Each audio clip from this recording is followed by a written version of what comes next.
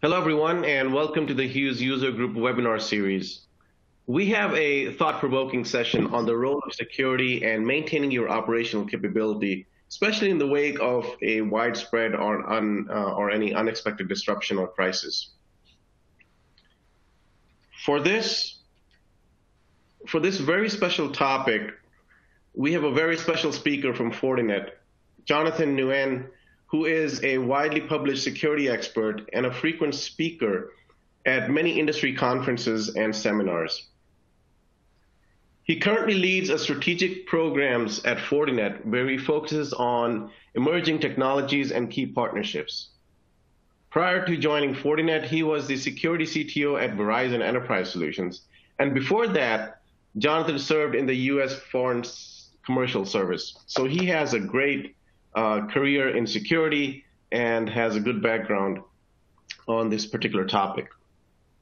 My name is Shahid Javed. I'm with the HughesON Enterprise team and will be your host and moderator for today's presentation. Just a few housekeeping items before we start. Our webinar is being recorded and will be available for on-demand viewing on our website, hughesusergroup.org. Also, please feel free to send in your questions or comments and we'll address those towards the end of the presentation during the Q&A session. Of course, if we run out of time or you may be viewing a recorded version of this webinar, feel free to drop us an email by simply filling out a form on our website. So let's get started. Folks, at the heart of business continuity and resiliency in our network world is security. Security is very important. Security and resilience anytime before, during, or after disruptions has always been top of mind topic of business leaders. And especially with the current crisis we are in and the new normal way of running business, it has become a more relevant topic. And in today's session, Jonathan will lay out some of the best practices and he'll make sure that you learn about the role of security in maintaining operational capabilities especially in, in, in a crisis like uh, the one we live in right now. Jonathan, thank you for joining us, and we welcome you to this session. Without any um, further delay, please take it away. Great, thank you. First, just many, many thanks for your time today um, uh, going to this discussion. Standard disclaimer, uh, so I won't go into belabor that point. So what we're going to uh, talk about today in, in this session are, are, three basic elements, right? The first part is where are we today with regards to security and, and, business continuity and resilience in light of previous events and incidents, uh, the current pandemic, and then looking forward, um, what is the new normal going to look like? How are we going to um, ensure greater security and resilience and this notion of reasonable care, which has been the emerging objective in, in security over the last three years. I'll discuss that and then finally, I'll talk about what is security going to look like and how do we optimize that and what is that with regards to service providers and how we go about choosing, selecting, and, and working with our partners uh, like Hughes here. So moving forward, let's take a look at uh, business continuity and disaster recovery planning. So as noted, my background is about 25 years um, in cybersecurity and business continuity. Um, I helped build and, and, lead Verizon's MSSP practice and developed and launched its business continuity practice as well. Um, so within that space, uh, I had a lot of background in actual pandemic planning and response beginning back in 2009 uh, with the um, swine flu, the bird flu, with SARS and, and other uh, types of incidents. And so some lessons learned, I'll take you through the next couple of slides about best practices and some practical realities about business continuity and security, both in this situation and the ones that you may face further down the road. So, as we first thing we need to do is, you know, before the actual pandemic, whether it's flu or some other large-scale disruption, you really need to take a look at your plan. Uh, the business continuity plans, like security plans, and controls are, are entirely perishable. They need to be tested. They need to be reviewed um, on a regular basis, at least once a year. Uh, when I take a look at business continuity plans, I often note that contact information is, is out of date. It's no longer valid. Um, one of the interesting things when we look at that is that people's job change, they move, uh, new folks come in, and, and I, I remember specific situations when, when I was working in the government and we were running our drills. You know, we found continuity plans that were out of date. We, we went into bunkers that still had rotary phones, which were completely irrelevant um, in the digital workplace. So those are some of the key underlying things we always need to test to make sure we're ready there. In addition to that, I've often found that communications plans are, are, are a challenge. Um, so it's very important to establish the who. You know, who's going to be your spokesperson? Who are the people they need to reach out to? When? At what point? Prior to the declaration, post declaration, etc. When do you communicate out to the public what is happening? Um, and what are your communications plan? All those things need to be prepared ahead of time. You don't want to go into a situation and up to then to try to develop a communications plan about who you, who's going to be your spokesperson, when are they going to communicate, and what legally are you allowed to, to, to discuss with the public. So all those things need to be done ahead of time. Um, I also highly advise people to to work with their local government and their supply chains, especially as you go through tabletop exercises. Uh, those types of drills are really um, invaluable as you begin to discover uh, holes in plans, things that were not thought of, scenarios that were not dreamt of. I think one of the interesting things in conversations with CISOs I've had in the last couple of weeks has been, you know, we had planned for, for regional disruptions, whether they're weather-related, uh, earthquakes, natural events, uh, work stoppages, labor dis, um, unrest, and in some cases, um, military armed conflict. But I don't think that many of us had really thought that we would actually face a global disruption in the form of an influenza-like uh, pandemic. Uh, and that was always there. But I think actually having it happen um, uh, is a new one, and it begins to strain and, and, and, stress the types of plans that we had developed. And so as we go into the actual taking the action part during the pandemic, the most important thing I've seen is the requirement to frequently and regularly communicate. I, I think that as people become more remote and remote working takes hold, the ability to maintain a very predictable set of communication streams is not only reassuring, but it really has, has helped um, some of the folks I've talked to in the last couple of weeks uh, maintain their operations. And, and, and they're doing relatively well given the situation. I've often found that it, it's quite important to track and monitor your staff and really take a look at, at morbidity, meaning their wellness and mortality. It's, it's, a, it's a black topic not a lot of people want to talk about. Uh, unfortunately, very few actually test in their business continuity plans. But the practical reality is that you know we have to look at situations where our folks and our, our stakeholders, our supply chains may become incapacitated, and we really need to take a look, a hard look at succession planning. And that points to a common theme in all these preparations, which is you really need to understand your data in your process classifications. What types of data do you have? What's its criticality? Where is it located? Same thing with your workflows and processes, and by extension, the, the people that you work with across the board. And so finally, at the end, of the event, of the incident, we really need to go back and evaluate how well we did.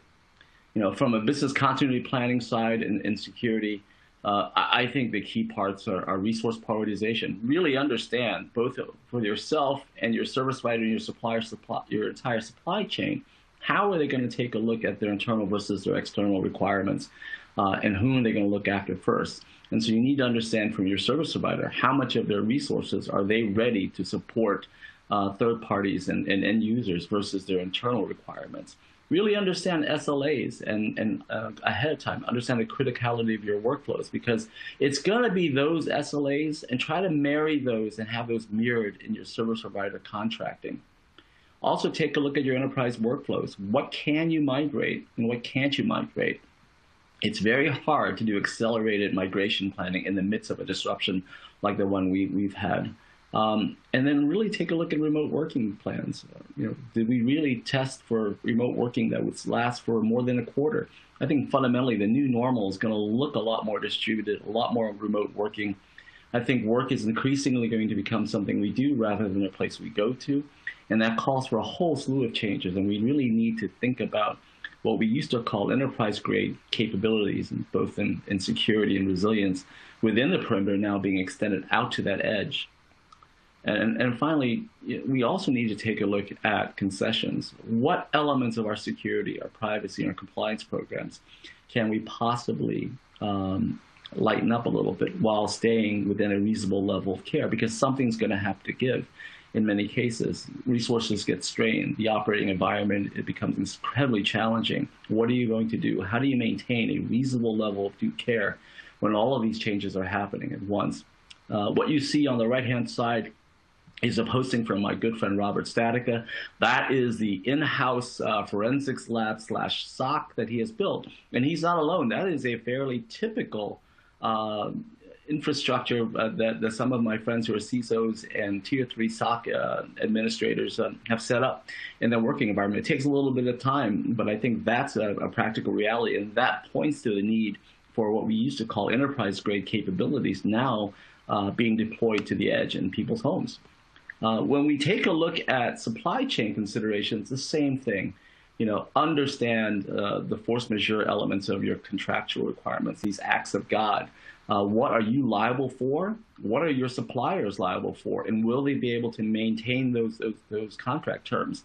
It's very important when I was running SOCs and, and data centers to take a look at redundant uh, suppliers and partners. The ability to provide supplies from any of the four cardinal points, meaning if if uh, uh, transportation routes are disrupted coming in from the south, do I have an alternate vendor coming out of the northeast or west? And then likewise, in terms of working with your, your employees and your customers, extend the same level of review and consideration to your partners. Communication should be steady, they should be predictable, two ways to fully understand what your partners are, are dealing with uh, likewise, understand your contract terms to them. Um, what, what is your um, accounts payable, accounts receivable policies? How will you conduct transactions in a, in a highly distributed ecosystem when people are working from home? And likewise, SLAs. SLAs and expectations go hand in hand. Uh, your work upfront and preparing will go a long way. So as we look towards now, going into the fifth week of, uh, of, uh, of requirements, you know, what are we what are we doing to to come out of this crisis? And a lot of CISOs I'm speaking with are now thinking about what is the curve as we emerge out of this pandemic. And the first observation is that companies that were cloud native or had migrated significant portions of their digital infrastructure to cloud had a distinct advantage over those who were traditional brick and mortars. And so what you're going to see coming out of this pandemic is that everyone wants to be cloud native, literally overnight. And they're not going to just migrate the strategic business well, workflows and applications. They're going to try to migrate just about everything. And decisions are going to be made, some of them well, some not so well, some rash, uh, and some well-founded. Hyperscale is going to be key. Uh, as we move to the edge and more computing is going to be done there as 5G takes hold, you're going to see a tremendous amount of data generated at high speeds. So hyperscale is going to be critical towards that. And I think Fortinet's technology and in our announcements with hyperscale capabilities in our next generation firewalls and our carrier grade protection uh, platforms really will, will, will help companies scale at speed and scope around that. And finally, there, there will be huge shortages, right? So those acute shortages that we're facing today in terms of cloud and security architects will only be exacerbated um, moving forward.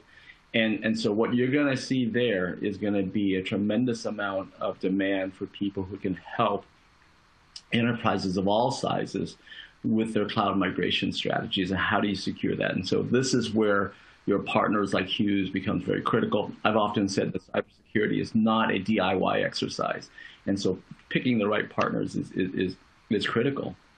And so one of the recommendations that came out of the, the current situation is being more widely adopted, in fact, it's gained, uh, gained adoption and accelerated in demand, is this notion of zero trust. And why is that? Because zero trust was founded on this idea that traffic inside the perimeter should be trusted no more than traffic outside the perimeter.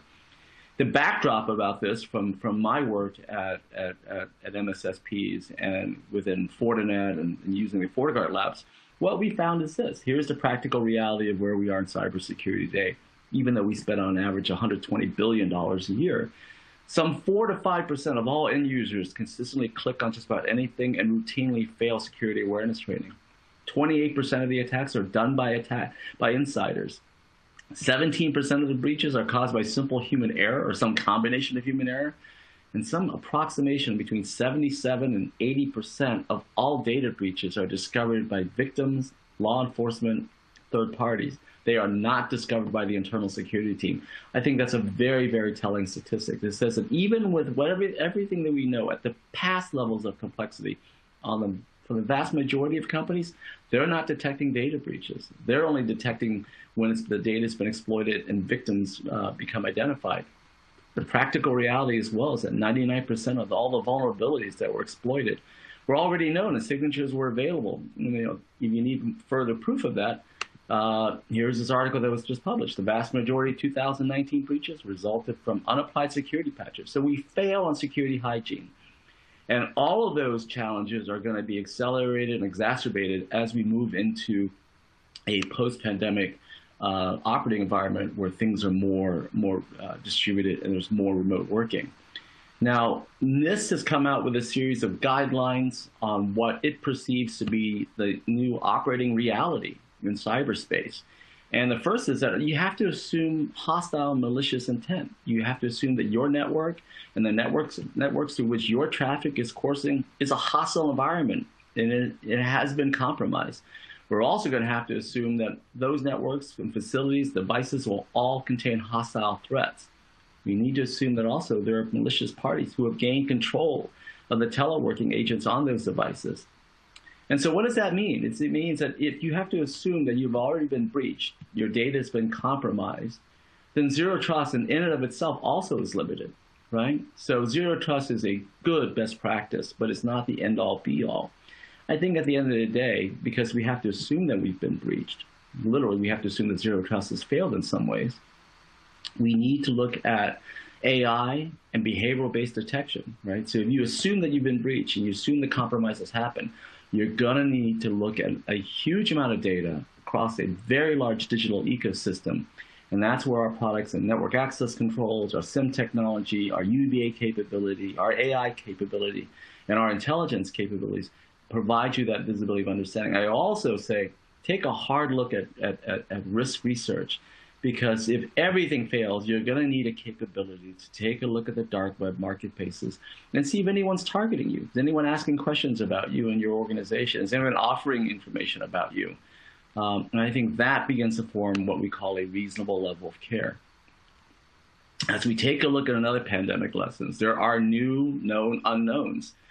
You know, when we take a look at behavioral-based detection and anomalous behavioral-based detection, so what happens when everything is new? What happens when the vast majority of, of login sessions and, and, and, requests for network access are all new?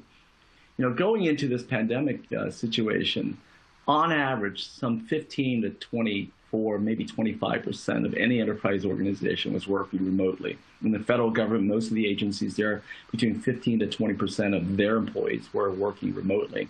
Now we have the inverse. We have 80, 85% of, of staff working remotely, and everything is new. And everything is new in terms of logins, in terms of uh, behavior in the network traffic.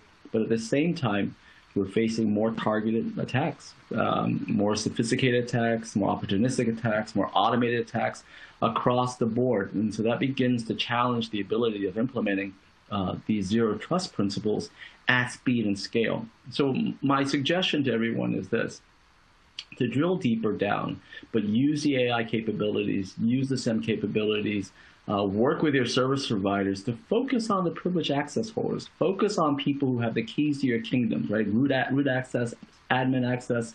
Look at your sysadmins. As, as one person once told me who was an APT for a nation state, he said, look, if you want to defend against people like us, you know, hunt your sysadmins because that's who we hunt, right? So focus on those people and baseline the new behavior and detect anomalous behavior and then move move forward, uh, forward and, and outwards into your organization, organization as you begin to baseline what normal looks like in NIST new normal.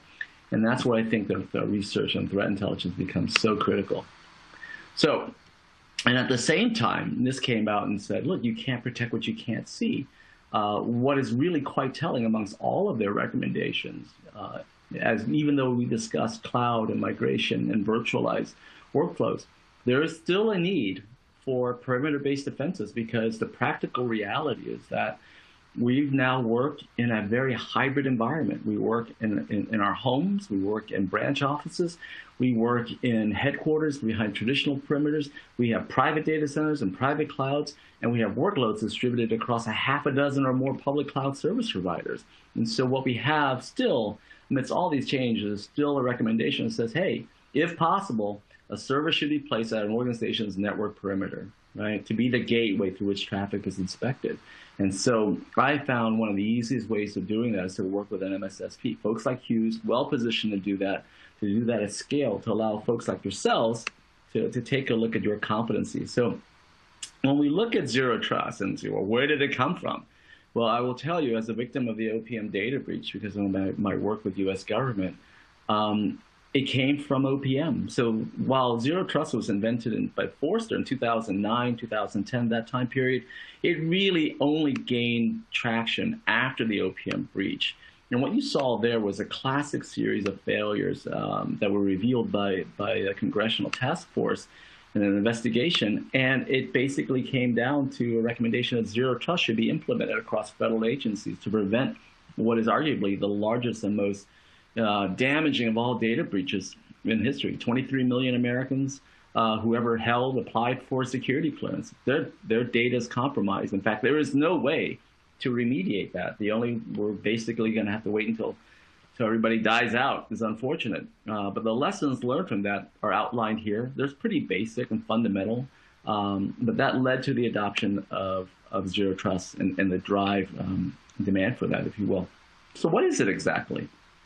So look, zero trust is not a product. It's, it's not a solution. It, it is an operational framework that is iterative, meaning that it's still evolving. But what it really does at the end of the day is that it shifts the focus from static network segments to focus on where the data is. The data in terms of where is it uh, being used, what assets is it associated with, and what resources. That's where zero trust focuses.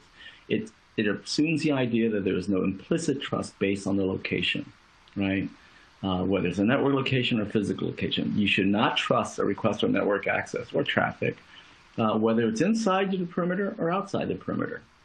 Uh, and it notes that authentication and authorization needs to be done before the, the access is ever granted. It also says, hey, you know, we have to take a look at security uh, as something beyond the perimeter, um, and we begin to take a look at protecting the data. But there are also some limitations. It's an iterative approach, and, and it's still evolving in many ways. And, and there's some things that I would add, and we'll talk about that next. So, look, as, as we begin to combine what NIST has said and the background of zero trust, you begin to see the themes about where I think security is going to go and what reasonable care is going to look at. I think the underlying assumptions are all host- all networks are hostile. That cyberspace is indeed a hostile operating environment, a multidimensional hostile operating environment, which is uh, a big step for us, I think, uh, in, in, in, private sector especially. We have to consume uh, our networks, our people, our devices, our systems are under continuous attacks. We have to assume that we've been compromised. You have to assume that you've already been breached in many ways. Um, and that all the users, all the devices, and all the traffic must be verified, monitored, logged, if you will. Uh, and then I would add this element because it wasn't added before. I think the final disposition of what was accessed needs to be accounted for as well. Um, because if you take a look at 28% of the breaches are caused by insiders. So what may look normal uh, may not be. And so the ability to say, hey, yeah, what is Jonathan Nguyen doing? He's accessing uh, the, the, mail server, that's legitimate. He's accessing documents that are in a cloud um, server, that's legitimate. What's he doing? Is he altering that? Or is he downloading it? Is he downloading it to attach storage media? Is he uploading it to another cloud? Understanding what a user does with what was accessed becomes key to determining what was malicious. I, I, think this cartoon is very telling because it really says, look, everyone is telling you what is happening in this environment.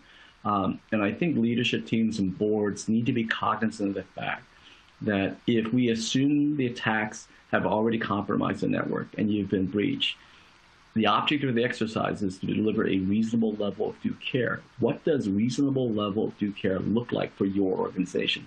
That's the number one question to ask. And when we take a look at zero trust architectures, as we said again, and, moving left to right. In the previous working models, there was implicit trust. If you were inside the perimeter, you were trusted. The implications are that if an attacker were able to get in, then he or she were able to move laterally, compromise data, and ultimately export, exfiltrate that data. In a zero trust environment, the users, the networks, the applications are not trusted, and you only get access after your identity has been authenticated, the device on which you, you're using to make that request has been identified and verified, the specific request for network access, whatever application workflow that you're asking for is validated, and then log and monitor everything.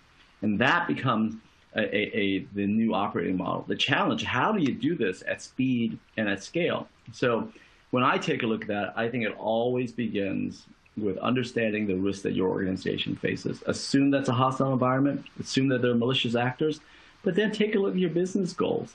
Look at your assets, look at your access infrastructure, and finally look at those threats in light of the risks that you face and what are the steps that you need to undertake to, make, to, to, to control that. So, um, you know, not, nothing terribly new here, but I wanted to frame it out. I wanted you all to have a copy of these basic things to, to take a look at. Um, and when you take a look at the, the requirements to look at every user, every device, to log and monitor for the time and geophysical location, uh, to monitor for the requested um, application or workflow, you know, and then to do a contextual assessment of whether that's valid or not and what's the risk associated with that particular request you know, that's a pretty broad operating environment. Now, we're looking at everything from you know, IoT, IIoT, edge, smart factories, connected homes, connected cars, connected platforms, smart cities, traditional branch offices, headquarters offices, and then out to a series of public clouds. That's a pretty broad operating environment. Now, put that onto a global scale, and I think the only way we, need, we can do this is to manage complexity. So platform consolidation is going to accelerate. We need to move away from point defense products and platforms to something that's built design by product, uh, like a Fortinet security fabric, right? I think that's that's a reasonable approach. These are more questions um, that you can use to take a look at how to assess that risk. I won't belabor them here, but they're pretty self-explanatory. And so so now let me show you how uh, I, I do this for, for a lot of enterprise businesses and service providers when I advise them on, you know, my background on, on what reasonable care looks like, what effective security looks like, uh, and how do we do that um, by employing uh, zero trust networking principles, uh, an updated approach around network segmentation uh, to deliver what I consider to be reasonable care. And I think it starts off with our Fortinet security fabric, you know, there, there are three things that, that all security solutions need to be able to address. It has to be broad. Why? Because we work in a very broad operating environment. You have to be able to, to see across your entire ecosystem, right? Which now for many organizations includes the homes of thousands of, of employees and other stakeholders. It has to be integrated because all these points of presence across that ecosystem have to be able to collect and generate information so that information can be curated so that you have a contextual understanding of what's happening in your ecosystem, but also the threats that are challenging it. And once you understand what's happening, if you decide to take action, it has to be automated. One of the things that are happening is the accelerated pace of computing and networking. 5G will only accelerate that. 5G is 100 times faster than 4G. So unless security can operate at networking speeds, security becomes increasingly irrelevant. And so that's why you need something that is a fabric that's broad, it's integrated and automated, and it's built to purpose. It's built to work that way rather than trying to do it yourself. I will tell you from my own practical experience that as an operator, I want my SOC teams, my analysts to work on operating technology. I do not want my teams focus on systems integration, technology integration, or, or QA work, right? Uh, the more that I can do that with a series of strategic partners, vendors, um, the better my abilities to manage complexity and actually address threats across this ecosystem. So when we take a look at a zero trust architecture, look, trust shouldn't be established by any one IP address. You have to have a contextual assessment. You have to be able to take a look at all the data addressed.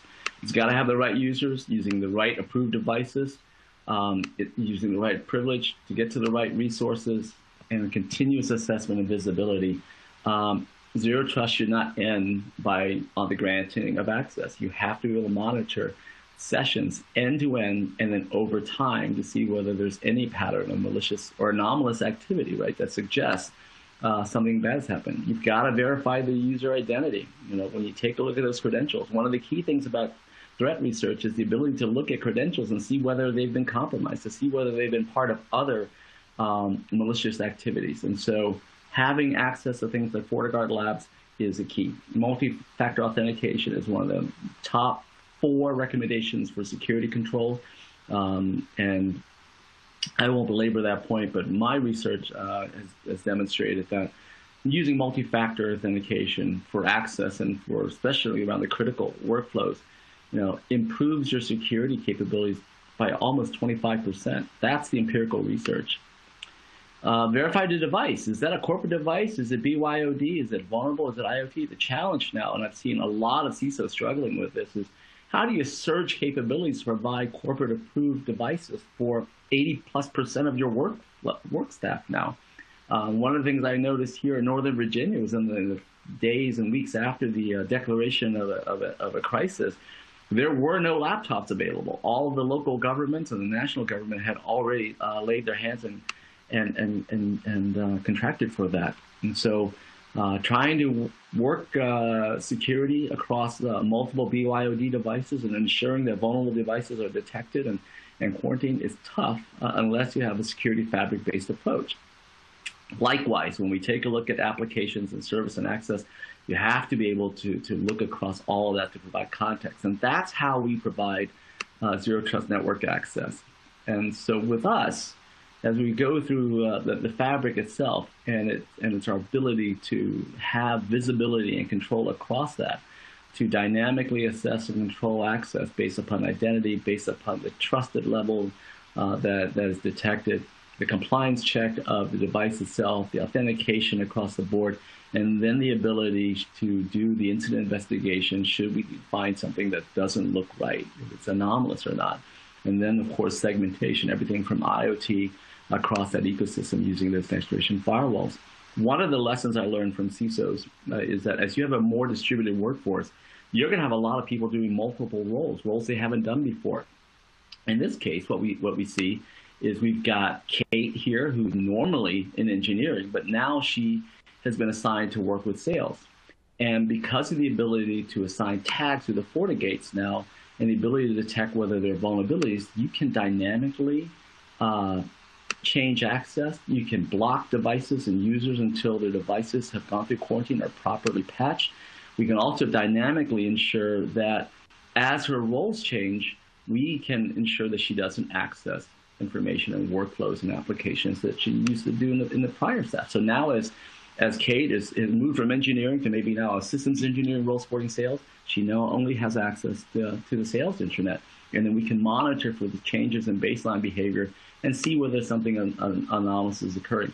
That is a critical factor. If you're doing manual policy changes, you're going to struggle. And the FortiGate users I've seen in the last couple of weeks were able to do this in a pretty seamless way and to scale um, at speed. And that, that has be, that's become key. So last couple of slides. The way I look at, at, at access controls in zero trust environment is, is as follows you know, we're going to identify the geophysical location of where that request for access is coming in. We're going to authenticate uh, using credentials and certs on who it is, the devices they're, they're, they're, they're using to make the request, what workflows they're, they're, they're trying to uh, access, is it valid? And then we're going to note the timestamp. And with that, you can baseline behavior. What, and then over time, look what normal. I often suggest if you have no guidance on what new normal looks like, take it in small increments do 5% deviations from norm. After a couple of days, after five working days, you're going to have a pretty rudimentary idea of what the new normal looks like. But begin to take standard 5% deviations from norm and refine that over time. In about three weeks, you're going to have a very good idea of, of what your new operating environment looks like. But focus on your privileged access users. And by doing that, what we get is this notion of adaptive trust. You can get no access, you can get guest access, you can restrict access. You can also uh, give unrestricted access, something which I, I, I, would not recommend, but that capability is there. Um, and that's how we're going to control access in a zero trust environment uh, using the Fortinet fabric. And, and so I would also say that our SIEM capabilities, our user entity behavioral analysis capabilities, gives you that visibility into what Jonathan is doing, uh, whether it's uh, in your cloud, a public cloud, and to understand what he has done with the data. Um, that's key from a CIA perspective. And finally, you know, I'll summarize by this. Um, our new normal is going to be much more distributed. It's going to be more complex, and unfortunately, it's going to be more hostile.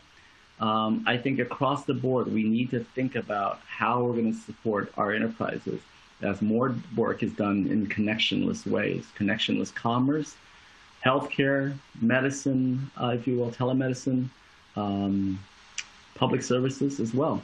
And the irony of that is that these connectionless uh, transactions require more interconnectedness, if you will, between devices, more complexity, more data, and I think across the board, Zero Trust uh, is, is going to be accelerated in its implementation. And at the end of it all, focus on reasonable care on CIA. CIA is just as um, relevant now as it was when I first started in cyber sometime in the mid 90s. So I leave you with uh, this last cartoon uh, on a light note. Uh, but I, I, I, will tell you that it's been interesting to, to watch how people have responded uh, to remote working. And um, the biggest insight I had is not what happened, but what hasn't happened. Um, I think for the most part, the security professionals I've spoken with were able to execute their plans. Um, and then without major uh, catastrophic disruptions, uh, begin to secure and enable uh, their, their working environment. Time will tell how effective we were. Um, you know, we go out 90 days, 180 days, and we'll find out how successful we were at, at detecting and mitigating data breaches during this incident. With that, I want to thank you for your time. Uh, it's been an honor to be with you. I'll turn it back over to Shahid and um, see if there are any questions. Thanks again. Hey, Jonathan, thank you very much. Thank you for um, your insights and outlining um, practical and actionable approaches to ensuring security and continuity of operations. Um, um folks, we we have um, just a couple of minutes. If you have more questions, please send them in. I do have a couple of questions that came out, and I'm going to ask you, Jonathan. one is how can uh, CIOs and uh, CISOs ensure um, uh, that um, you know hack that they, they, they, protect their company during COVID-19, um, especially this crisis? How can this stay ahead of the hackers? Any advice there? Yeah, yeah. So I think the first part, like uh, my research was into root cause analysis of over 16,000 data breaches. And there are four basic things that we should all be doing. Uh, we should all be implementing the CIS-20, the basic security controls, focus on security hygiene. Security awareness training more than ever is important because uh, your remote workers are the front line and they are being targeted, right? So security awareness training is really important given the fact that 4% of our employees routinely click on anything. Use of multi-factor authentication is absolutely key. Uh, as I said before, uh, in, in, my experience in the research that, that, my teams have done, we've demonstrated that the use of multi-factor authentications in access, and specifically around your critical workflows and applications, really reduce uh, the, the number of attacks that lead to data breaches by, by upwards to 25%. Uh, finally, I would take a very strong look at web application vulnerability management as well, because that's what's going to be attacked. Um, so the object of the exercise in security is a reasonable level of care. It goes back to British common law.